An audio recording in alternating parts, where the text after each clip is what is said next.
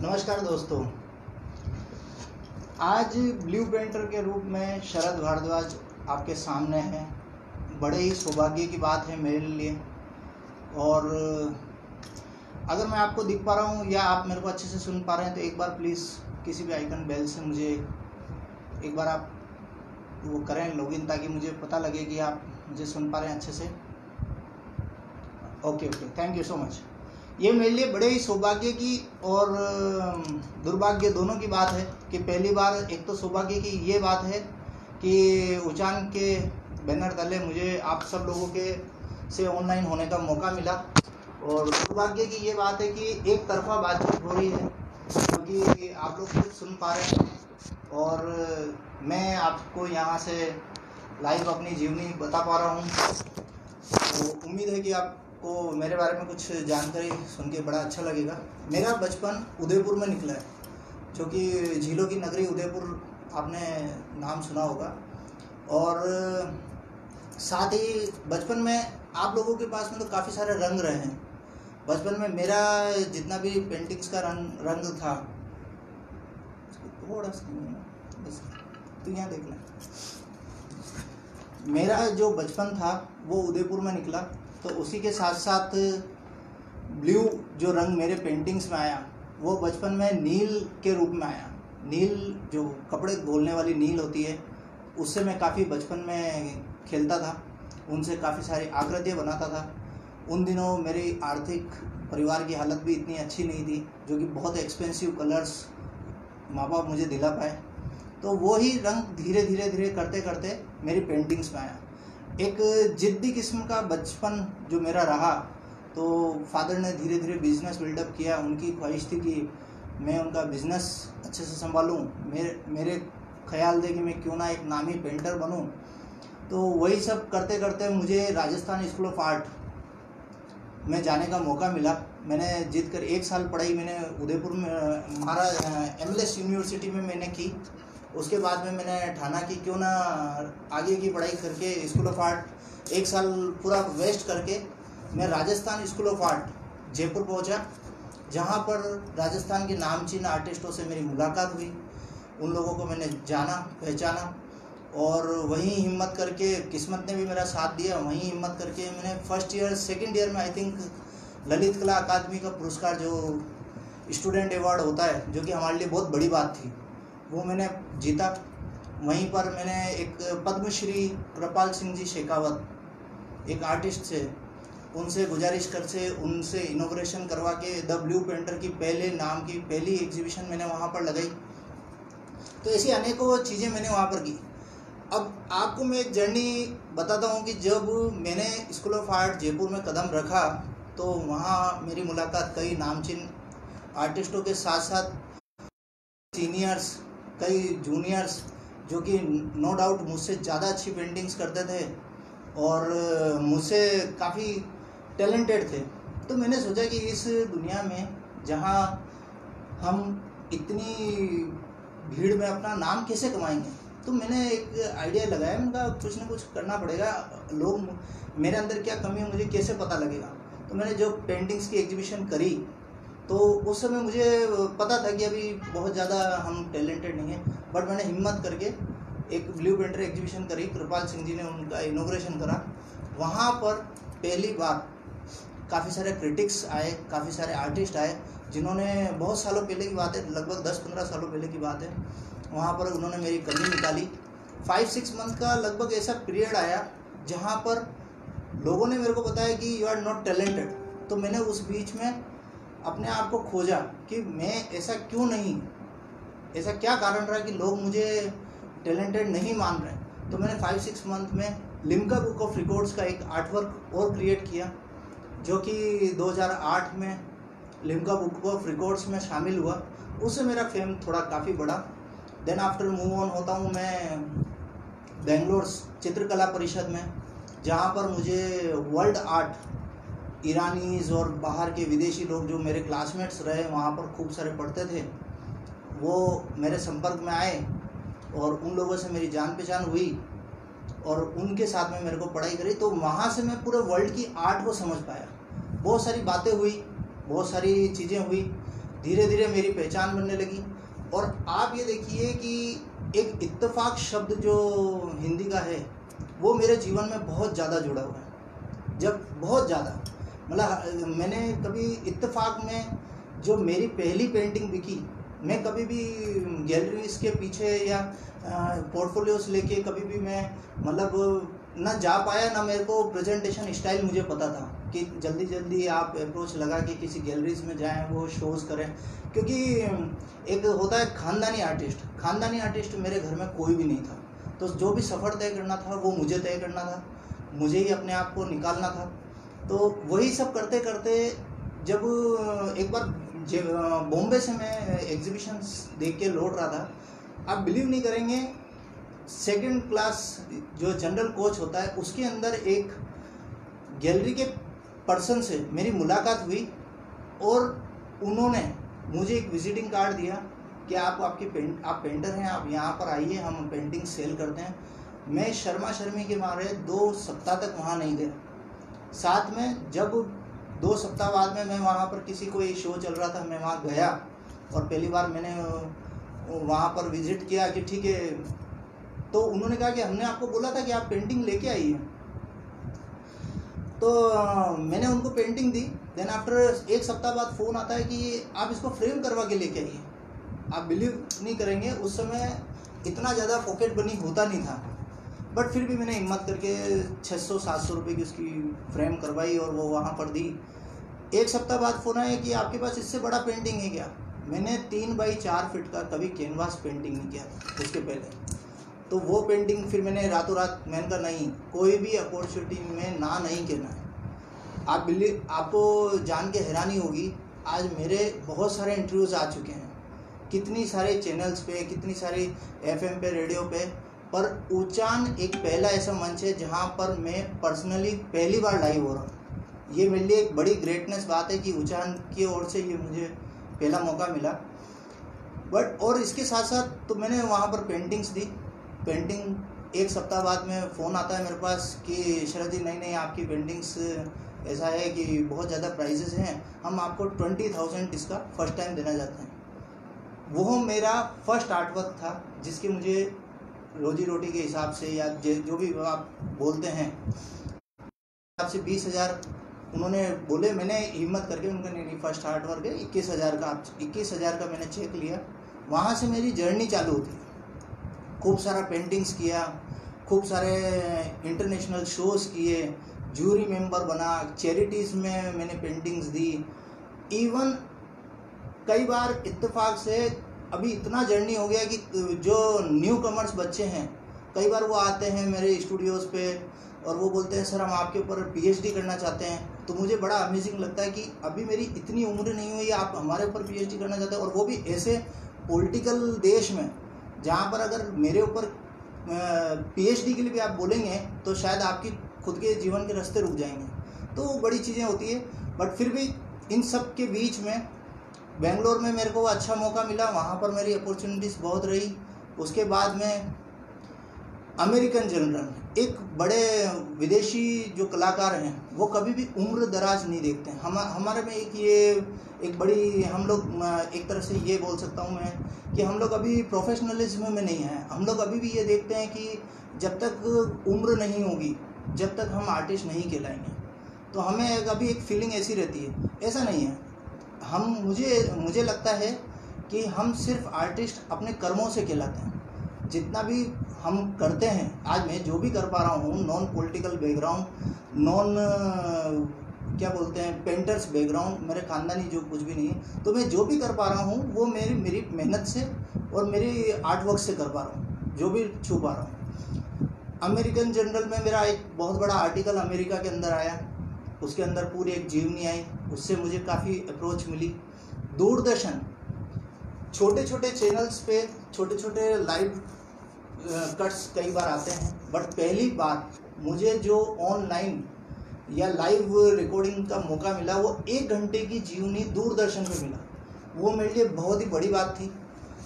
इस लायक दूरदर्शन ने मुझे समझा पहली बार जहाँ आज तक पोर्टफोलियो में एक भी लाइव रिकॉर्डिंग या एक भी इंटरव्यू मेरा नहीं हुआ था। डायरेक्ट फ़र्स्ट चांस मुझे दूरदर्शन ने दिया। तो वो मेरे लिए बड़ी बात थी। कई जगहों पे मेरे नाम जुड़े। जैसे मेरा date of birth twenty fifth October है। तो ट्वेंटी फिफ्थ अक्टूबर पिकासो का भी डेट ऑफ़ बर्थ रहा। मैंने कभी भी मना नहीं किया। एज ए आर्टिस्ट मुझे जिस भी तरीके से समाज से, जो भी, जैसे भी जोड़ना चाहता है, मैं उससे जुड़ने के लिए हमेशा तैयार रहा। एक एस्ट्रोलॉजर का फ़ोन आया कि हम लोग भी कोई यूट्यूब चैनल बना रहे हैं और हम लोगों की एज ए मेडिटेट उसके हिसाब से थ्योरी के हिसाब से आपका 25 डेट ऑफ़ बर्थ है, आप पिकासो के पुनर्जन्म मुझे लगा कि I don't think so but whatever अगर मेरे नाम से या मेरे इस इंटरलिंक से आपके यूट्यूब चैनल्स को फ़ायदा होता है, क्योंकि आर्टिस्ट का एक काम ही लोगों को फ़ायदा पहुंचाना है। आर्टिस्ट दुनिया में इतनी रिस्क से जो पेंटिंग्स करता है तो मैंने उसके लिए हामी भरी उन्होंने यूट्यूब चैनल पे काफ़ी सारा प्रचारित किया है कि he is reincarnation of Picasso काफ़ी सारे क्रिटिक्स क्रिटिसाइज उस पर हुआ कि ये कैसे, वो कैसे। मैंने उसको नज़रअंदाज करके मैंने कहा, कोई बात नहीं। बदनाम हुआ तो क्या हुआ? नाम तो हुआ। उससे आगे बढ़े। अभी कुछ दिन पहले मेडिटेशन जो एक बहुत आध्यात्मिक पूरी छवि भारत की अभी पूरे वर्ल्ड में बन रही है। तो मेरे, मुझे एक, हमेशा से एक, वो रहता है कि क्यों नहीं मैं एक ठेले पे गैलरी पेंटिंग्स लेके गैलरियों के पास में बार बार नहीं भटकता हूँ। मैं अपनी एक इंडिविजुअल थोड़ी सी एक ऐसी डिफरेंट पहचान बनाऊँ कि एटलीस्ट कम से कम लोगों को ये लगे कि, एक मिनट, ये लगा लेता हूँ। हाँ जी। तो मेरे मेरे दिमाग में ये रहता है कि क्यों ना गैलरीज के थ्रू पेंटिंग्स ना बेच करके मैं अपनी वर्सेटाइल इमेज बनाऊँ। भले ही मैं ब्लू कलर्स पेंटिंग्स में करूँ, पर उसके साथ साथ लोगों को डिफरेंट चीज़ों में नए नए आयामों में, यानी लोग मेरे को अगर ऑनलाइन देखे या मेरी प्रोफाइलें देखे या मेरी जर्नी देखे तो लोगों को इंस्पिरेशन मिले मोटिवेशन मिले और एज ए आर्टिस्ट कुछ न कुछ नया अनुभव उनको हो। तो मैंने ऐसे मेडिटेशन के ऊपर अभी डारेन संगीता करके यूके के एक बड़े फ़ेमस म्यूजिशियन हैं, उनसे लास्ट फाइव टेन ईयर्स से हम लोगों की एक कोशिश थी कि क्यों ना आपकी पेंटिंग्स के ऊपर मेडिटेशन एक म्यूज़िक बनाया जाए तो उन्होंने अभी एक कुछ दिन पहले म्यूज़िक बनाया उसके ऊपर। साथ ही फ़िल्म फेस्टिवल्स में मैं पेंटिंग्स लेके गया, जहाँ पर कि मेरे ऊपर बात हुई, काफ़ी सारे डिस्कशंस हुए फिल्मी दुनिया से मेरी काफ़ी इच्छा रही है। मैं अपनी पेंटिंग्स को इन फ्यूचर भी जोड़ूँ। तो सागर सरहदी जी, जिन्होंने कहो ना प्यार है, लिखी है, और रज़ा मुराद, सुभाष गई, काफ़ी लोगों से मेरी वहाँ पर मुलाकात हुई। बहुत, कुछ दिनों में वहाँ रहा और ओमपुरी साहब के साथ भी मैं एक बार नर्मद फ़िल्म फेस्टिवल में सूरत में रहा। तो उन्होंने एक ही कमरे में हम लोग रहते थे। तो दो दिन मैंने उनके साथ बिताए। तो उन्होंने एक पेंटिंग पे साइन भी करे। तो कई बार मैं, मैंने उनसे डिस्कस करा कि, सर, मैं ऐसे ऐसे मेरा एक फ़िलोसॉफ़ी है कि मैं बचपन में ब्लू से काफ़ी इंस्पायर था। तो उन्होंने बोला कि, शरद, ये बहुत अच्छी बात है और इस पर तो तुम शॉर्ट मूवीज़ और आने वाले टाइम में डॉक्यूमेंट्रीज भी क्रिएट कर सकते हो। तो वैसी भी बातें हुई आर्ट की जर्नी में। आर्ट देखिए, मेरी नज़र में ऐसा नहीं होता कि सिर्फ़ आप कलर कैनवास लें और दो पेंटिंग बना दें। और फिर उसकी फ़ोटोज़ को गैलरीज पे भेजते रहें भेजते रहें। और वो ठीक है कभी कभार आप उसमें फेसबुक पे लिख दें कि ये सोल्ड हो गया है और आपको बहुत अच्छी शांति मिलती है। आर्ट एक ऐसी शांति है जिसकी खोज में हम निकले हैं और हम निकले तो हैं, लेकिन इतिहास रचने भी निकले हैं। खाली हम बेचने और बनाने नहीं निकले तो एक ये बहुत मॉरल ड्यूटी है, क्योंकि अगर हम खाली बस उसी धुन में लग जाएँगे तो हम शायद सादगी से आर्ट नहीं कर पाएँगे। फिर अभी कुछ दिनों पहले जवाहर कला केंद्र ने एक राजस्थान का मास्टर पेंटर्स करके एक शो किया, जिसमें कि कुछ दिन पहले यहाँ के minister B D Kalla ji ने इनोग्रेशन किया। अब मुझे, मेरे जो अवार्ड्स हैं, मुझे रिकॉग्नाइजेशन का सबसे अच्छा अवार्ड लगता है। अगर लोग मेरे आर्टवर्क को देखते ही दूर से ये बता देते कि ये नीला आर्टवर्क शरद का है, क्योंकि वो ब्लू पेंटर है, वो मेरे लिए सबसे ब्रिलियंट अवार्ड है। मैं उसको अपने जीवन का सबसे बड़ा अवार्ड मानता हूँ। वहाँ पर B D Galla ji no doubt ministers category थी। बहुत इजीली फटाफट फटाफट जा रहे थे मेरे सीनियर्स मेरे गुरुजन, काफ़ी सारे लोगों की पेंटिंग्स लगी हुई थी। जैसे ही वो मेरी पेंटिंग पे आते हैं, थोड़ी सी देर के लिए रुक जाते हैं। काफ़ी कैमरा क्लिक्स होते हैं। तो वहाँ पर जैसे ही उन्होंने रिकगनाइज़ करा, वो भी मेरे लिए एक बड़ा वो था। और जहांगीर आर्ट गैलरी लास्ट एक दो साल पहले ललित कला अकादमी की तरफ़ से राजस्थान का 147 एक बड़ा शो गया। उसमें मुझे चुना गया।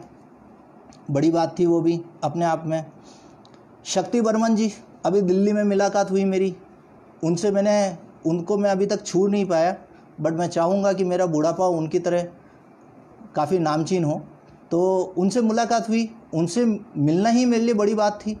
आप, ये सब, जितनी भी जर्नी से, इसकी सारी फिलोसफी आप मेरे प्रोफाइल्स पे जाके देख सकते हैं। जूरी मेंबर बना मैं कभी भी ये नहीं सोचता हूँ कि मेरा नाम अगर इतना बड़ा हो रहा है क्योंकि मेरे पास कई बार कॉल्स आती है कई गुरुजन की कई सीनियर्स की कि यार Sharad you are a celebrity kind of artist तो ऐसी जगहों पे मत जुड़ो यहाँ मत जुड़ो वहाँ मत जुड़ो। मुझे लगता है कि शायद अगर मैं अपने आ, अपने बारे में अगर लोगों में डर फैला दूँगा तो अगर लोग डरेंगे तो फिर मुझसे प्यार के कौन करेगा? तो मुझे लगता है कि जहाँ जहाँ लोगों को लगता है कि मेरी वहाँ ज़रूरत है तो मुझे लगता है कि शायद मुझे उनसे जुड़ना चाहिए। तो अभी चिल्ड्रंस का एक जूरी के लिए मुझे बोला गया। हैदराबाद से कॉल आता है कि आपको जूरी बनना है। आप बच्चों की छोटे छोटे बच्चों की आप आर्ट सेलेक्ट करेंगे? मैंने कहा, बच्चे तो अपने आप नाया, अपने आप में नायाब आर्ट वर्क करते हैं। लेकिन अगर फिर भी मुझे उनको चुनने का मौका मिलेगा तो मैं ज़रूर करूँगा और मुझे बहुत अच्छा लगेगा। और उनके उनके बारे में आप मुझे आप मे, मेरे बारे में उनको बता रहे हैं ये भी मेरे लिए बहुत बड़ी बात है। अच्छा लगा जुड़ा उनसे जूरी करी। इनोग्रेशन करें। इनोग्रेशन करने के लिए जब पहली बार मेरे पास ऑफ़र आया कि सर गुजरात के कुछ लोग थे उन्होंने चाहा कि शरद जी आपका नाम हमने राजस्थान में बहुत सुन रखा है क्यों ना हम आपसे इनोग्रेशन करवाना चाहें? बड़ी बात हुई। राजस्थान में बहुत सारे आर्टिस्टों को बड़ा लगा कि यार ये इस उम्र में इनोग्रेशन कर रहा है। बट मेरे गुडविल ने मेरे को कहा कि मैंने इतनी मेहनत की है, मैं क्यों नहीं कर सकता हूँ? अगर पीछे के लोग आप, मैं ज़रूरी तो नहीं है कि मैं बड़ी दाढ़ी रखूँ, चोटी रखूँ, बड़े बाल रखूँ या उम्र का इंतज़ार करूँ, फिर मैं किसी से परमिशन लूँ कि सर मैं अब क्या इनोग्रेशन करने लायक हुआ और मुझे नहीं लगता कि शायद कभी कोई कहेगा कि you are you deserve this to inaugurate someone तो मैं जब अपने घर में पेंटिंग्स का इनोग्रेशन कर सकता हूँ जो कि लाखों में बिक रही है या इतनी बड़ी बड़ी बातों में जा रही है तो मैं न्यू कमर्स को क्यों मोटिवेट नहीं कर सकता? तो मैंने वो सोच के इनोग्रेशन किया। इनोग्रेशन किया देन आफ्टर कई फ़ेमस लोग हैं इंसांग सोंग हैं कोरियन आर्टिस्ट हैं और टैड बेरर इसराइल से हैं वो लोग आए उन्होंने आ, मेरे स्टूडियो में विज़िट किया। तो ऐसी जब बातें होती है तो बड़ा अजीब लगता है कि they are very selective peoples. They are uh, very VIPs और जब वो एक दिन के लिए आधे दिन के लिए उदयपुर में या कहीं पर आ रहे हैं और उसमें भी वो मुझे ढूंढ रहे हैं तो मेरे को इतनी गुड फीलिंग आती है। It's a beautiful thing for me कि मुझे ऐसा लगता है कि वो खोज रहे हैं। It means something in inside in me तो वो चीज़ मुझे बड़ी लगी। राजस्थान साहित्य की अगर बात करें, कई सारी पेंटिंग्स के कवर पेज मेरे बने। राजस्थान साहित्य अकादमी की मधुमती करके एक एडिशन आता है। उस पर कवर पेज मेरा चुना गया। बड़ी बात हुई, साहित्य के कई लोगों के, नामचीन लोगों के, मैं आपको ट्रूली बताऊँ, मैं बचपन में, पढ़ाई में बहुत कमज़ोर रहा हूँ। और मैंने एक इजी गोइंग अपना रास्ता अपना रखा था कि सबसे इजी गोइंग रास्ता ये है कि पेंटिंग्स करो। ज़्यादा से ज़्यादा पेंटिंग्स करो फ़ेमस हो जितने अचीवमेंट्स मिलेंगे, उसके थ्रू राजस्थान या इंडिया पूरे वर्ल्ड के नामचीन और पढ़े लिखे लोगों के बीच में जाने का मौका मिल जाएगा। तो और आज नो डाउट मेरे पास में अगर शायद ये आइडेंटिटी नहीं होती तो इसके अलावा मेरे पास कोई ऐसा चांस नहीं था कि मैं पढ़े लिखों के बीच में खड़ा हो सकूँ। तो मैंने साहित्य के कई लोगों के फ़ोन कॉल्स आए, मैंने उन पेंटिंग्स को जोड़ा। इवन पेंटिंग्स मेरी पोइट्री फेस्टिवल्स में गई। और साथ में साहित्य अकादमी में गई। Irshad Kamil Bollywood write lyrics writer हैं। एक बार दिल्ली में उनके साथ पुस्तक विमोचन था तो उनके साथ विमोचन हुआ। तब मुझे पहली बार पोइट्रीज़ की समझ आई। कई ऐसे बड़े शोज़ रहे हैं, जहाँ मैं, मैंने आपको बताया कि इत्तेफाक का ताल्लुक मेरी ज़िंदगी से बड़ी बड़ी बात है। तो एक मेरा बड़ा फ़ेमस आर्ट वर्क है डब्ल्यू एलिफेंट जो कि 16 बाई 16 फिट का। बहुत बड़ा सर्कल कैनवास है जो कि लिमका रिकॉर्डेड है और बहुत बड़ी चीज़ है वो। और तुम एक बार मैंने जयपुर आर्ट समिट में उसका स्पॉटलाइट कैटेगरी में वो शो हुआ, तब जब वो शो हुआ तो वो कहीं से क्यूरेटर्स की लॉबी से होता हुआ वो सेलेक्ट हुआ रोस आमेर करके एक जयगढ़ फोर्ट में, जहाँ पर शाहरुख खान और काफ़ी बड़े लोग, हस्तियाँ वहाँ पर आई थी। तो रातों रात वो मेरे पास कॉल आता है कि a night you came in Jaipur and display your the blue elephant here मुझे बड़ा अजीब लगा, बड़ी मुश्किल से मैं पहुँच पाया, सारा वो सब हुआ। जयगढ़ फोर्ट के ऊपर ऑलरेडी इतनी हाइट होती, इतना हवा का वेग होता है। वहाँ मेरा आर्ट वर्क्स गया। दूसरे दिन जब न्यूज़ वगैरह में सब जगह पे वो आया तो लोगों को बड़ा अजीब लगा कि यार सीनियर मोस्ट आर्टिस्ट जो पूरे इंडिया से वहाँ पर एग्जिबिट हो रहे हैं, उनके साथ में इसको एग्जिबिट करने का मौका मिला। तो ऐसी चीज़ें रही है कई सारी। और इसके साथ ही अगर हम बात करें ललित कला पुरस्कार राजस्थान ललित कला अकादमी का रा, राज्य पुरस्कार जो मुझे मिला वो इस रूप में मिला कि लास्ट टेन फिफ्टीन ईयर्स से मेरी पूरी कोशिश थी। मैं चाहता था एक मेरा छोटा सा सपना था कि मेरे फादर मदर को मैं फ़र्स्ट टाइम फ़्लाइट में बिठाऊं। बट जब मुझे कोई बड़ा अचीवमेंट मिले तब मैं बिठाऊं। तो मैंने टेन, फिफ्टीन, दस, बारह साल तक मैं जब स्टूडेंट मिला तो स्टूडेंट मिलने के बाद मुझे ऐसा कॉन्फिडेंस आया कि फाइव दो, तीन साल में मुझे स्टेट भी लेना है। कई बार ऐसे चांसेस भी बने, कई बार ऐसा लगा मुझे, कई बार मेरी खुद की गलतियों से वो अचीवमेंट रहा या किसी भी कारण से रहा। देन आफ्टर जब ललित कला अकादमी का राज्य सम्मान मुझे मिला, वो मेरी बड़ी बात थी। तो मैंने फ़्लाइट से फादर मदर को बुलाया और वो द सर्चिंग फ़िश करके एक टाइटल पे मुझे पेंटिंग्स का अवार्ड मिला। म्यूज़ियम्स में मेरे बहुत कलेक्शन रहे हैं। ये सौभाग्य है मेरा। एक एज ए आर्टिस्ट मैंने जैसे आपको, मैं बता रहा हूँ कि एज ए आर्टिस्ट मेरा अनेकों जगह से जुड़ने की वो रही है। उचान okay our viewers would like to see other some of your देखिए पेंटिंग्स दिखाना शायद इतना पॉसिबल नहीं होगा बट एक छोटा आर्टवर्क ठीक है मेरे पास है, क्योंकि 16 बाई 16 फीट की, ये अभी कुछ दिन पहले मैंने ऑनलाइन भी आपको, आप देख पा रहे होंगे। एक गणेशा करके मैंने एक आर्टवर्क किया है, और ब्लूज़ में ही मेरे सारे आर्ट वर्क्स रहते हैं। बाकी पेंटिंग्स काफ़ी सारी आप मेरी ऑनलाइन और सब जगह देख सकते हैं। आप चाहें तो मुझे मैसेज करें, मैं आपको पूरा एक लिंक भेज सकता हूँ, पूरा देख सकते हैं आप।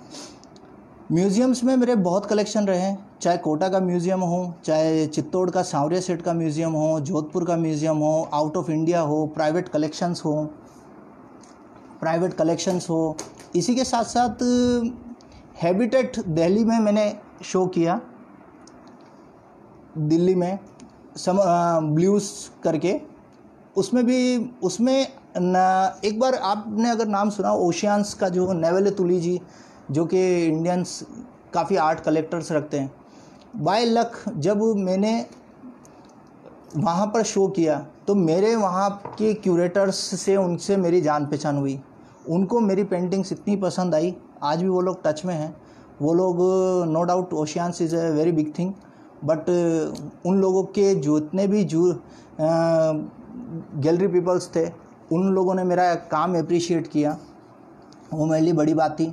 मॉस्को यंग आर्ट बिलाने में मेरे आर्ट वर्क्स गए विदेशों में। और रही बात ब्लू पेंटर की अपन बात करते हैं अगर कि ब्लू पेंटर कब बना या मुझे कैसे टाइटल मिला। देखिए, बचपन में नील से करता था, लेकिन मुझे इतना अंदर से ये फीलिंग नहीं थी कि मुझे कोई एक टाइटल टिक नेम बनना चाहिए। वो पहली निक नेम जो मुझे एज ए ब्लू पेंटर एक टाइम्स ऑफ़ इंडिया की टाइम्स ऑफ़ इंडिया की एक न्यूज़ रिपोर्टर आई थी। उन्होंने मुझे बोला, Sharad you are a blue painter first time उनके मुँह से मैंने ये शब्द सुना था। और उन्होंने पहली बार टाइम्स ऑफ़ इंडिया की न्यूज़ आर्टिकल पे बोइन ब्लू करके मेरा एक आर्टिकल छापा था, जो कि दूसरे दिन आया और काफ़ी अच्छा लगा मुझे। तो तब जाके मुझे लगा कि जो भी मैं कर रहा हूँ, वो इससे इंटरलिंक है। वहाँ से ब्लू पेंटर की जर्नी ऑफिशियल रूप में निक नेम के साथ स्टार्ट हुई। मॉस्को आर्ट बिनाले और सब जगह पे फिर बाद में फिर जितना भी डाटा और जितना भी ऑनलाइन था, वहाँ पर आने लगा। भारत भवन, भोपाल कॉलेज से मेरे को जब, जिन दिनों मैं स्कूल ऑफ़ आर्ट कॉलेज में पढ़ता था, भारत भवन, भोपाल भी जाने का मौका मिला, वहाँ के आर्टिस्टों को जाने का मौका मिला।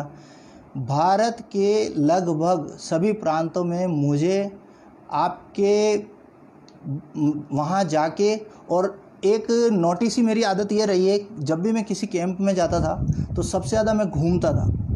भारत भवन गया, पूरा एमपी घूमा। ये चोला मंडल गया, चेन्नई एक बार आर्ट कैंप में तो पूरा चेन्नई और पूरा रामेश्वरम। आप देखिए, घूमने का शौकीन ऐसा रहा हूँ कि मैं जब किसी कैंप्स में जाता था तो कई बार मैं वहाँ जाके देखता था कि कौन सी ट्रेन कब से, सबसे दूर कौन सी जा रही है। तो 15 डेज़ का आर्ट कैंप है तो दो दो तीन दिन तक मैं घूम के जाता था। तो लगभग ऐसे करते करते मैंने पूरा इंडिया देखा, भारत भवन देखा। जयरंगम, एक बड़े अच्छे फ़िल्म एक्टर हैं मकरंद देश पांडे आप उनके साथ में मेरी फ़ोटोज़ और कई सारे डाटाज भी आए। मकरंद देश पांडे जी जब जयपुर में आए थे, जरा हम लोग एक ही जयरंगम करके कार्यक्रम में साथ में थे, उनको मेरी पेंटिंग्स बहुत पसंद आई। नो डाउट वो भी बहुत अच्छे आर्टिस्टिक रहे। उनसे मिलके भी एक डिफरेंट फीलिंग्स आई। उनका भी सेम फीलिंग्स थी कि शरद तुम अपनी पेंटिंग्स को कहीं ना कहीं फ़िल्मों से जोड़ो। तीन, आज एक जैसे कि आज काफ़ी मैसेजेज आए आज एक मदर डे करके एक स्पेशल है। मेरी ज़िंदगी में तीन वुमेन्स का बड़ा योगदान रहा है। एक तो वो माँ जो मेरे को इस दुनिया में लेके आई। दूसरी वो माँ जिनकी वजह से मैं आज एज ए आर्टिस्ट आप लोगों के सामने हूँ एज ए पेंटर हूँ और वो हैं मेरे स्कूल की टीचर सुजाता शर्मा जी। देखिए, एक ख़ास बात मैं आपको बी ट्रूली कहना चाहूँगा बाय हार्ट क्या पता ये सच, सही है कि नहीं है, पर मेरी पढ़ाई Udaipur school M L S university से भी हुई है, जयपुर स्कूल ऑफ़ आर्ट से भी हुई है, और मास्ट मास्टर्स बेंगलोर चित्रकला परिषद से भी हुआ है। पर मैंने अपने जीवन का गुरु बहुत सादगी से अपने स्कूल का टीचर सुना है। उसका कारण ये है कि आज मेरी एक भी छोटी सी भी उपलब्धि अगर आती है तो वो बहुत अच्छे से खुश होता है। और मुझे लगता है कि मुझे ये जो आर्ट की जर्नी है, वो अपनी सादगी से, अपने कर्मों से और अपनी मेहनत से तय करनी है। तो मुझे, मैं रेस्पेक्ट सभी लोगों की करता हूँ, बट मैं किसी भी तरीके से कॉमर्शियल यूज़ अपने गुरु का नहीं लेना चाहता। तो मैं, क्योंकि उन्होंने पहली बार स्कूल टाइमिंग और शायद ही मैं ऐसा समझता हूँ कि आज के दौर में शायद ही ऐसा कोई पर्सन होगा जो कि एज ए जो कि थोड़ा फ़ेमस हो रहा है और जो कि एज ए टीचर अपने स्कूल के टीचर का कोई नाम लेता है। बाकी अदरवाइज़ जहाँ भी देखता हूँ मैं, सब यही बोलते हैं, हम वहाँ से हैं, हम ये हैं। ठीक है, उनका अपना एक लॉजिक है। ये सब बातें मेरी रही है। बाकी आप अगर कुछ पूछना चाहते हैं तो मुझे खुशी होगी। ये एक छोटी सी ब्रीफ जर्नी मैंने आपको बताई है। और एक आर्टिस्ट जैसा कि एक अपने आप में काफ़ी रंगीन होते हैं। तो मैं आपको एक थोड़ा सा पर्सनली मेरा व्यूज़ बताना चाहूँगा। जो मेरी वाइफ हैं, वो राजस्थान स्कूल ऑफ़ आर्ट में मेरी क्लासमेट भी रही हैं। और वो काफ़ी, उन्होंने मेरी पूरी जर्नी देखी। और आज वो मेरे साथ में है और वो भी पेंटिंग्स के अंदर फ़र्स्ट ग्रेड लेक्चरर हैं तो उनका भी मुझे बहुत बड़ा सहयोग मिलता है और इसके साथ साथ उन सब दोस्तों का सहयोग मिलता है जो मुझे चने के झाड़ पे नहीं चढ़ा करके रियल बताते हैं। जैसे मेरे कुछ फ्रेंड्स हैं, एक बहुत ही मेरा जूनियर भी रहा है, बहुत ही अच्छा दोस्त रहा है अजमेर से योगेश करके है एक फ्रेंड है अजीत करके हैं, जयपुर से। अविनाश करके हैं। तीनों ए हैं, तीनों ए फॉर एप्पल टॉपर हैं। ए क्वालिटी है तीनों की। तो तीनों मुझे कभी भी बहुत ऐसा फील कभी नहीं करवाते हैं कि वो लोग कि बहुत बड़े आर्टिस्ट हो तुम, या तुम्हें तो वो हमेशा ये बताते हैं, दूसरों के बारे में, शरद जी, शरद भाई, तुम ये मत सोचो ऐसा हो रहा है, ऐसा हो रहा है। तो वो चीज़ें मुझे अच्छी लगती हैं। और अभी नो डाउट मेरी जर्नी बहुत सारी बाकी है।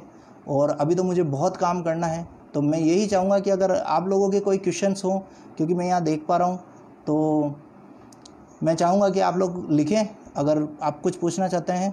अदरवाइज़ आप, आपने लिखा है send share your links please send your link I will share no problem मैं इसी के अंदर आपके शेयर्स करूँगा कुछ लिंक्स और बाकी आप गूगल पे जाएँगे तो आपको काफ़ी सारे इंटरव्यूज़ मेरे देखने को मिलेंगे, जहाँ पर मैंने मेरी जर्नी के बारे में बहुत डिफरेंट डिफरेंट रूप्स में बहुत सारी चीज़ें मैंने वहाँ पर बोल रखी है। तो मुझे लगता है कि आप लोग, क्योंकि अभी इतना सब कुछ बोला है आपके सामने तो मुझे हंड्रेड परसेंट पता है कि आप लोग इतना आसानी से मुझे छोड़ेंगे नहीं। और भविष्य में मिलते रहेंगे, कि आपने उस दिन बड़े बड़े नाम लिए थे, अभी आप सिद्ध करो। तो मैं इन सब चीज़ों के लिए हमेशा तैयार हूँ। तो और बाकी your wills like to see your work okay nice session for fap so please हो your work positive suggestion thank you and देखिए पेंटिंग्स का मैंने आपको एक आर्टवर्क बताया है और, फिर भी आप अगर और भी पेंटिंग्स चाहते हैं बट क्योंकि मेरी पेंटिंग्स काफ़ी बड़ी है और, अभी पूरा मूव करना इजी होगा या नहीं होगा बट कोशिश करते हैं एक एक एक आर्टवर्क मैं आपको दिखाना चाहता हूँ, जो कि मैंने अभी ही कुछ दिन पहले किया है। चलिए मैं एक इनोग्रेट आपसे ही करता हूँ। दो दिन बाद में ये आर्टवर्क किसी शो में आपको नज़र आएगा बट एक आर्टवर्क मैं आपको अभी मैं दिखा सकता हूँ। ठीक है सर एक मिनट पकड़िए।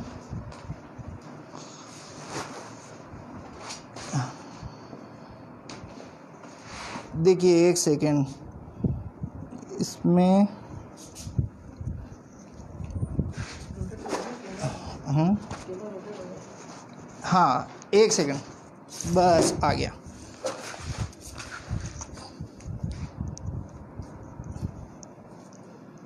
ये आर्ट वर्क है।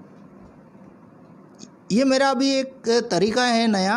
ब्लू, ब्लूज़ को अंडर वाटर सीरीज़ में काफ़ी सारा आप देख रहे हैं। ये पूरा एक ये आर्ट वर्क मैंने अभी जस्ट किया है तो ये आपको कुछ दिनों बाद एक शो में नज़र आएगा। हाँ जी तो आई थिंक हम लोग फिनिश करें इसको। अभी किसी को कुछ आप पूछना चाहते हैं या कुछ भी तो